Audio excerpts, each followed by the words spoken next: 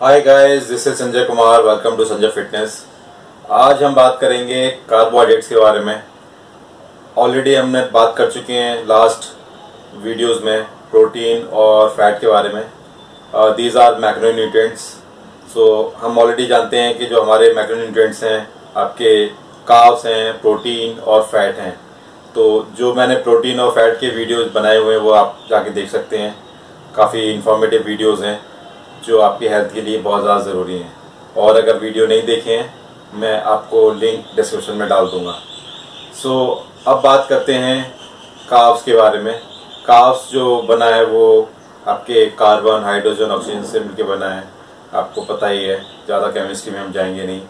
ये जो अगर क्लासिफिकेशन की बात करूँ मैं तो ये सैकराइड्स हैं मोनोसैकराइड्स डाइसैकराइड्स ऑलिगोसैकराइड्स और पॉलीसैकराइड्स सो so, ये हमें क्यों ज़रूरी है? हमारी बॉडी के लिए जो प्राइमरी सोर्स ऑफ़ एनर्जी है वो काव से ही मिलता है। हमारी जो डाइट के अंदर जो होना चाहिए जो होता है हेल्दी डाइट के अंदर फिफ्टी टू सिक्सटी परसेंट काव से ही मिलती है जो हमें एनर्जी मिलती है जो कैलोरीज मिलती हैं।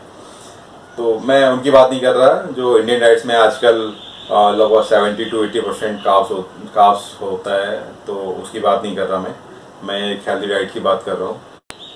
एक ग्राम के अंदर फोर कैलोरीज होती हैं प्रोटीन के अंदर भी फोर कैलोरीज होती हैं और फैट के अंदर नाइन कैलोरीज होती हैं। ये ऑलरेडी मैं आपको बता चुका हूँ लास्ट वीडियोस में जिसमें मैंने डाइट प्लान बनाना बताया था। तो आप वो भी देख सकते हैं कि अपना डाइट प्लान कैसे डिज़ाइन करें।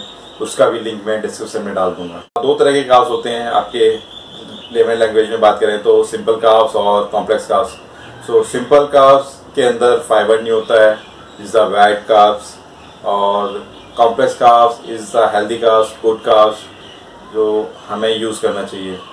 अब सिंपल काव्स कौन कौन से हैं? और ये हमें क्यों यूज़ नहीं करने चाहिए? तो इसके लिए आप जानते हैं कि क्यों यूज़ नहीं करते।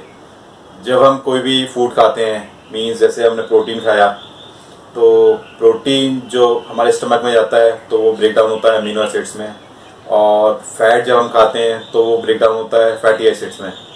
तो अब हम काव्स जब खाते हैं तो वो ब्रेक डाउन होता है ग्लूकोज में। और वो ग्लूकोज हमारे ब्लड स्ट्रीम में जाता है और ब्लड स्ट्रीम से हमारे सेल्स को मिलता है बॉडी सेल्स को मिलता है, जिससे कि हमें एनर्जी मिलती है और वो हम सारे काम कर पाते हैं, पूरे दिन एनर्जेटिक रहते हैं। जब हम सिंपल काव्स खाते हैं तो वो हमारे स्टमक में जाके ब्रेक डाउन होता है ग्लूकोज में और हमारे ब्लड स्ट्रीम में जाता है। बहुत ज़्यादा ग्लूकोज बन जाता है हमारे ब्लड स्ट्रीम में, जिससे कि इंसुलिन रिलीज़ होता है पैनक्रियाज से बहुत ज़्यादा, जिससे कि हमारे सेल्स को एनर्जी मिल सके। बट इतना ज़्यादा ग्लूकोज ब्लड में इकट्ठा हो जाता है तो हमारे सेल्स को मिल नहीं पाता। मींस हमारे मसल सेल्स को नहीं मिल पाता, जिससे कि हमें एनर्जी नहीं मिलती और हम लो एनर्जी फील करते हैं। और इंसुलिन भी बहुत ज़्यादा बनता है मसल्स को ग्लूकोज देने के लिए। बट वो भी काम नहीं करता और इंसुलिन बनता रहता है, जिससे इंसुलिन रेजिस्टेंस की प्रॉब्लम आती है। मीन्स टाइप टू डायबिटीज़ की दिक्कत हो जाती है। अब ना आपके मसल को एनर्जी मिल रही है और आपके ब्लड के अंदर भी ग्लूकोज बहुत ज़्यादा इकट्ठा हो गया तो टाइप टू डायबिटीज़ की दिक्कत हो गई जिससे कि आपकी बीपी की प्रॉब्लम हो गई सो बीपी की प्रॉब्लम हो गई तो आपको कार्डियोवेस्कुलर डिज़ीज़ हो जाएँगी जिससे कि हार्ट की प्रॉब्लम्स हो सकती हैं। मीन्स होंगी ही मतलब हो नहीं सकती होंगी अगर ये ऐसा करेंगे तो। सो so, और दूसरा आपका जो ग्लूकोज जो आपकी ब्लड स्ट्रीम के अंदर है वो कन्वर्ट हो जाता है फैट में। क्योंकि आपके मसल्स को मिला नहीं कहीं नहीं मिला तो फैट में हो जाता है। तो आपने देखा होगा अपने आसपास या मैं आसपास सबको देखता ही हूँ कि हर किसी का पेट निकला हुआ है छोटा बच्चा हो या बड़ा हो तो हर किसी का पेट यहाँ पर निकला हुआ है।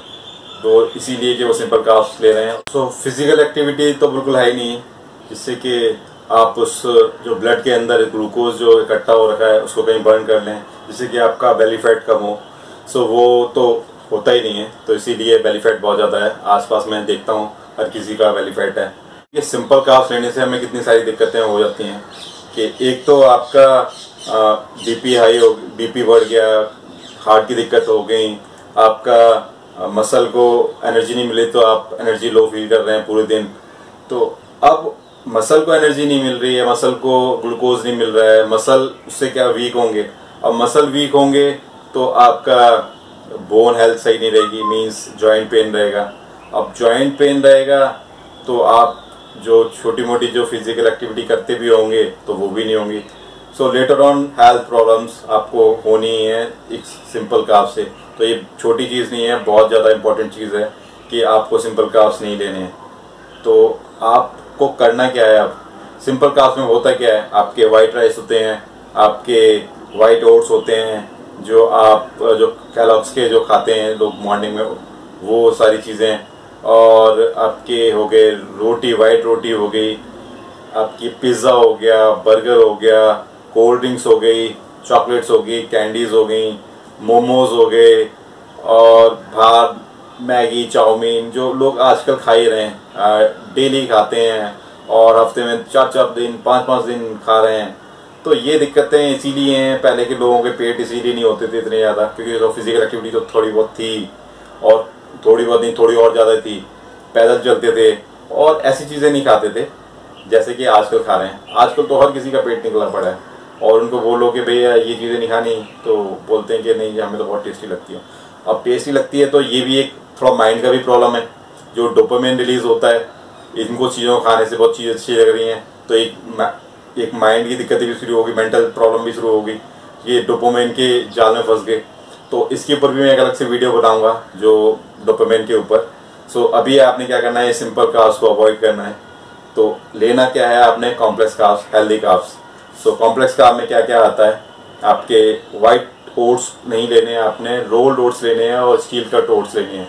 आपने ब्राउन राइस लेने हैं, आपने किनुआ लेना है, आपका होल व्हीट फ्लावर जो आता है मार्केट में, या चक्की से आप ले सकते हैं, जिसके अंदर फाइबर हो, जो पहले के लोग यूज़ करते थे, जब देखा होगा चोकर निकलता था उसमें से, वो आटा बहुत सही रहता था, जिससे आपका इंसुलिन भी स्पाइक नहीं होता था, और ये सारी दिक्कतें नहीं होती थी। तो ये सारी चीज़ें आप यूज़ करेंगे तो आप हेल्दी रहेंगे और फिट रहेंगे और एनर्जेटिक भी रहेंगे। सो so, ये मेरी इन्फॉर्मेशन थी पूरी काउस को लेके जिससे कि आप हेल्दी रहें।